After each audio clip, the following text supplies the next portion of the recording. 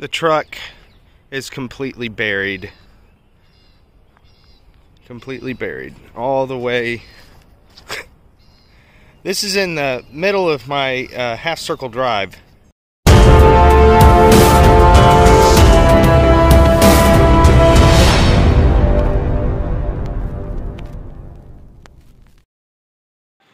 Well, good morning, guys. It's like 9 a.m. Monday morning, and uh, yesterday I got a hold of a roll-off dumpster company to bring a roll-off dumpster up here so that I can get rid of some trash because we still have a lot of stuff on the uh, box truck that we need to get out. And I went back inside to get some shoes on because I get I got woke up, and this is what I came back out here to. The truck is completely buried. Completely buried. All the way. This is in the middle of my uh, half circle drive. And the problem, the big problem here, yeah, I know I need to mow. First mow of the season's coming up. The problem here is just right across the south side of my drive. This is where you see that little clean out? Well, just to the left of it there, right there, is where I have uh, my septic. And my lateral lines, or leech lines, whatever you'd like to call them, runs across the south end here and into this uh, this center area of grass. And what concerns me is the grass usually is taller where my leech lines are. I know that sounds crazy, but it is. So here's some tall grass, and there's some tall grass right there on the other side of his truck, just about parallel, or in line, I should say, with where his truck is.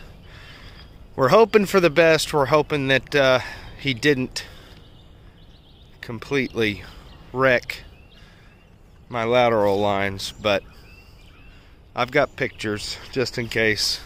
And he told me, he said, as long as we don't see gravel in that rut, we're fine. I'm not buying that. A little time will tell. But, uh, you know, you could just be compressing all the dirt on top of the gravel. That's the issue. You don't have to see gravel to know that you hit lateral lines. So, who knows? He went to go get, uh, went to go get a, uh, dump truck because if you look right over here, you can tell where he's used his uh, diesel truck to try and pull him out and it didn't work. So, who knows? What a way to start Monday morning. Great. Today we are going to go through the box truck. I got to try and get this thing emptied because, well, I bought three more storage units today, and I still have this, the rest of this TJ Maxx hoarder unit to clean out. Uh, still have two thirds of a 10 by 30 up in Edmond that we got to go get. But either way, I bought three small storage units today, and uh, we got to get this thing cleaned out so that we can go get them tomorrow. And then we'll be back at the hoarder storage, the the TJ Maxx hoarders unit. But uh, anyways, got uh, this great big, uh, what do you call it, dumpster here. And uh, literally just throwing a bunch of stuff in the trash. Obviously just trash in the trash, but um, they got unstuck from my front yard and uh, finally got this thing dropped off. And uh, now we're just gonna work on this, this right here. So let's see what we can't find today. Okay, so this is what it looks like right now. Uh, it's been a little over, it's been a couple weeks actually since I loaded this truck from the TJ Maxx Hoarders unit. And uh, finally, some dry weather and a little bit of time to start going through it. Um, this right here is something that we'll end up keeping and more than likely putting it on eBay. This thing's easily over a $100, that Serger. Um, already went through this box and uh, it's really just a lot of uh, fabric here. And, uh, and then aside from that, there's tons and tons of uh, uh, sewing patterns in here. So I'm going to end up lotting up a bunch of those sewing patterns. Not sure if I'm going to put them on eBay or if I'm going to uh, sell them uh, in my YouTube auction, but who knows what we're gonna find. Let's uh let's start looking. Okay, so in this tub that we just went through, all of this is trash. It's all trash. I uh, got a couple of these we got to open here. Who knows what's inside of them. And then I found this. I am Adorations and Affirmations Part 1. And if you look in this um, very carefully, um, St. Germain Press, 1935. I thought that was pretty neat, so I'll have to look that up. And uh, found some uh, some other fabric here, so I set that off to the side. And then we've got some uh, clothing and some dish towels and stuff like that. New with tags. Uh, not sure what that is. And of course, a hole punch. This stuff is going to go free. I'm giving it away free. Uh, got somebody coming to pick up a bunch of stuff for free actually today. And we're just going to get rid of it. So I'm going to open these real quick, see what we might have. If anything,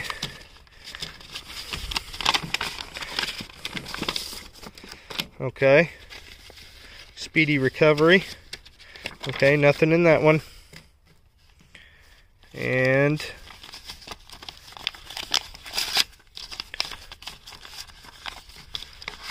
well, crud. I have my tripod right there, but here we are.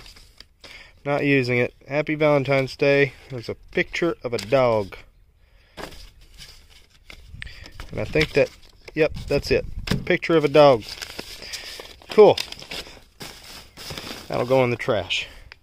So, let me take a look at this and see if this is worth anything.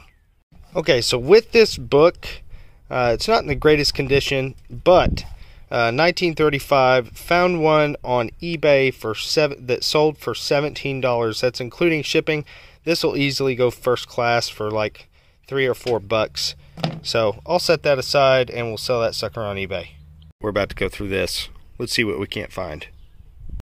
Okay, so we just went through this and I just laid everything out here and uh, looky here guys. A uh, bunch of brand new socks. Some of them gold toe. They look uh, boys and women's. Um, brand new Liz Claiborne uh, from TJ Maxx obviously. Wallet we got a Samurai Cyber Squad locker bag, a Dudley, uh, the Dragon locker bag, uh, five packs of toothpicks. Um, some of these trim fit boot socks here, three pair. Um, right here, some, I guess, just a fabric scrap. Brand new Speedo. Uh, what is sandals, I guess this thing's just got, I don't know, this I guess was probably just uh, some type of fanny pack giveaway thing. Um, right here is a multi-compartment mini bag. Looks to be leather. Yeah, genuine leather. Brand new. So there's that. And uh, Bundt pan and these I thought were really cool. I'm going to have to look these up. They're made by Go Softly. Uh, this too. But look at this, guys. It's just... I don't know. I don't know. It's size 3X. I don't know if it's men's or women's, but it's brand new. Obviously, TJ Maxx. Actually, that looks like Dillard's. So, have no idea if that's worth anything. Here's matching pants for it. And here's another another with a bunch of hearts and spades and clubs and diamonds all over it. So these are brand new. I'll have to look those up too. So that's everything that came out of there. I'm going to look some of this stuff up, see if it's worth anything. Okay, so I couldn't find anything on these, but I have a feeling about these that there's something special about them. Uh, they're really, really neat regardless, so I might be putting those on Poshmark. But everything else, especially like the socks, I know that some uh, some vintage socks, especially brand new, go for a lot of money. Um, especially like the multicolored striped tube socks. Uh, those can be worth a lot of money. But uh, these I couldn't find anything on, and these uh, not so much either. So I'll probably just lot those up and either send them through auction or uh, on eBay or either here on the channel. Um, that stuff and this stuff right here, uh, most of this I'll just end up keeping and setting aside for um, at some point a yard sale. So not a bad little haul. Let's uh, get into that one next. Okay, so we've got it empty, and this is what we've got right here. So we're going to take a look. Uh, about four more patterns here. Sewing patterns. These will be donated. This right here uh, says made in Connecticut, USA. Cooper. I might have to look this up. I don't know if it's worth anything, but that's pretty neat. It looks like a temperature gauge. Terracotta loaf pan. It's in there. Doesn't look like it's ever been used. Uh, this little duster here will be donated. These are brand new um, by Design Cottage. Uh, poinsettia little uh, table placemats, I believe. These are cast iron. Um, not sure why there's a hole in that one. You can see the hole there. I have no idea what these are used for. Maybe for candies or something like that. Uh, those would be really neat in the auction. Um, this is brand new in here. Have no idea what it is. It's just some type of apple canister. These are new as well. Uh, this will be donated. This right here, NutraSweet brand sweetener. That'll be donated. And uh, here's some sterling silver with genuine Austrian crystal. So, who knows? That might go in the auction. That's a gun. I found a gun. nice. What is this? Wow, that's a... Looks like an old earring. That's cool. Um, this looks to be Pyrex. This is going to end up being uh, donated. This is donated as well. Uh, let's look here. Has a sticker on it for $10. Looks to me like an X-Acto knife. I have no idea if there's a market for this stuff, but I'm going to try and get it out without cutting myself. That's a heavy duty sucker right there. So that's pretty neat. Uh, let's see here. Made Made in Japan, patent pending USA. Swizzler. I'll have to look this up on eBay. Looks like maybe a battery goes in the back end there. Have no idea what this is, but that that looks like Bakelite right there on the on the handle. Again, have no clue what this is. Uh, let's see. This is just going to be donated. It's not sterling or anything. This says uh, Dreizack Pizza Set. Brand new. Nice. So I'll have to look that up. This will be donated. Uh, Chef High Heat Scraper by Rubbermaid. And here's a rolling pin and then several shirts here. This is Roundtree & Yorke. Brand new, guys. Crazy. Honors, Roundtree & Yorke. A uh, baking book. And it looks like uh, a cushion air insulated baking sheet. So, that's what we got. That is what we got out of just this little tub. We still have so much more to go. Okay, so I just figured out what this thing is. It's a it's a cake cutter. So really for angel food cake. Although I don't know how it would be used, but they don't make these things anymore. And this is Bakelite. However, everybody else hear that gunshot? Anyways, this is Bakelite, but uh, however, it's not really worth anything. Um, so this will go in the donation pile. Okay, so I am planning on keeping this. I'm going to put it in uh, my yard sale pile. This is a uh, this is actually a grinder uh, for pepper, and it sells for about $20 on eBay. This X-Acto knife around $20 as well. Um, these aren't really worth anything, but I think I'm going to hold on to them. Uh, they are brand new. I'll either sell them in my yard sale or maybe even in uh, in an auction. So there's seven of them, seven if I counted right. And uh, the thing is, with placemats, you wouldn't believe it, but some of them are worth a lot of money. And I was right on these. These are um, little candy uh, candy dishes to make hard candies. Um, and this one I saw on eBay selling for over $40 or sold for over $40. I didn't really see this one.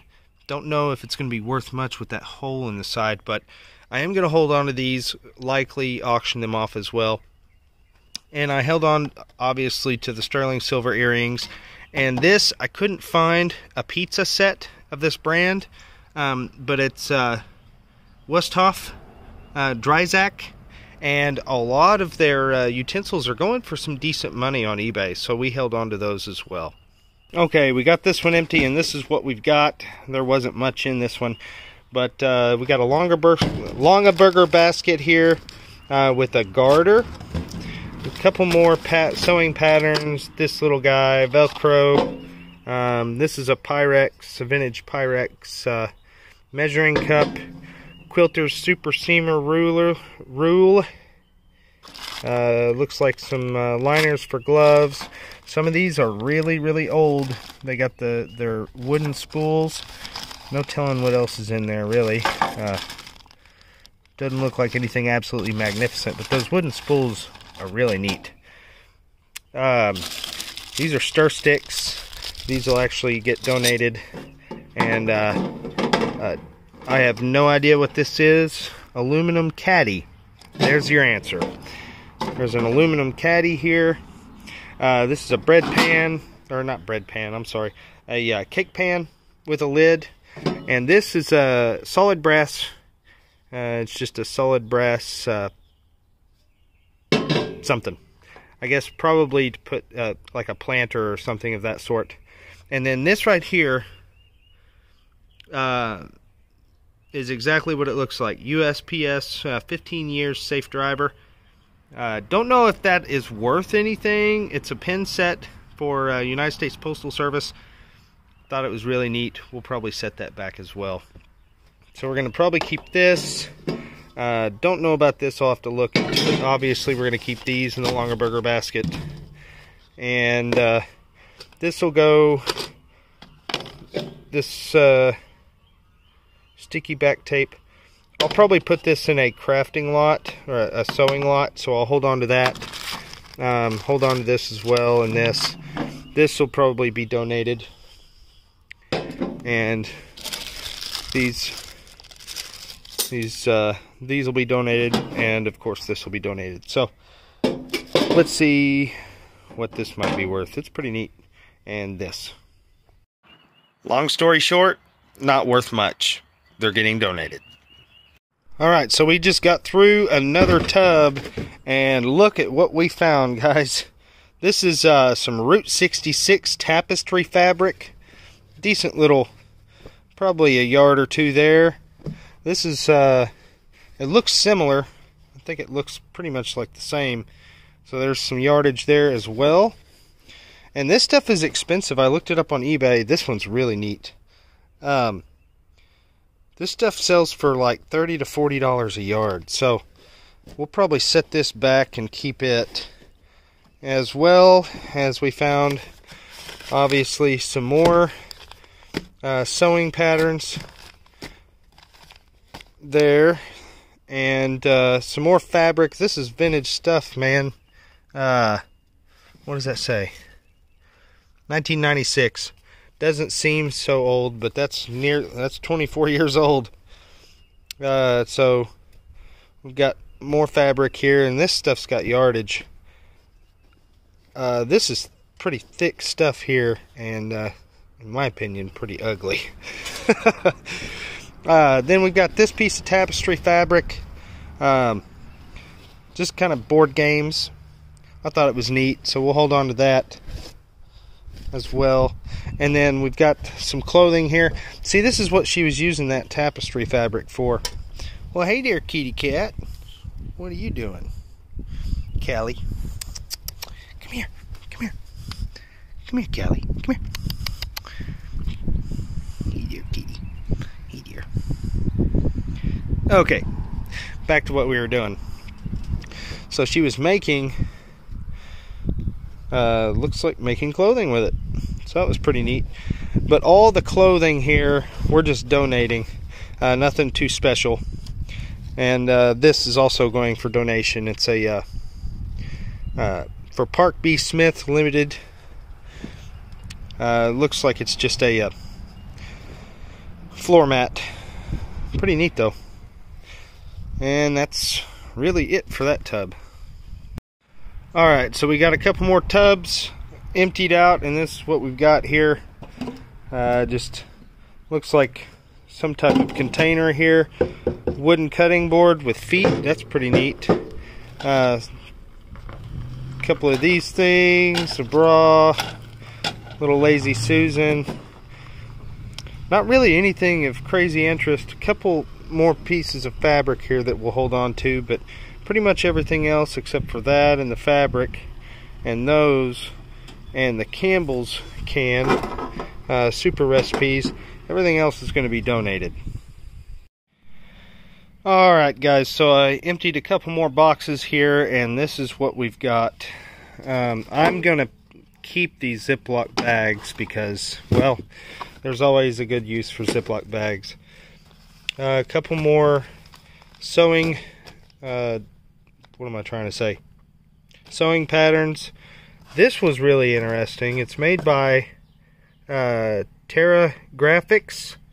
I don't know if it's worth anything, but it looks really nice.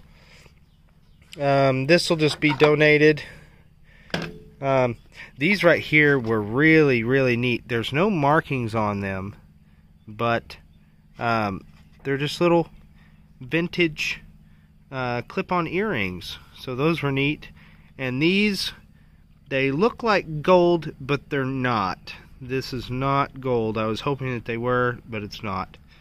Um, here we have uh, pearls and lace and uh, perfume and another pearls and lace perfume and then this tincture uh, merthiolate uh, don't have a clue what this is uh, looks like it's a topical antiseptic for external use only.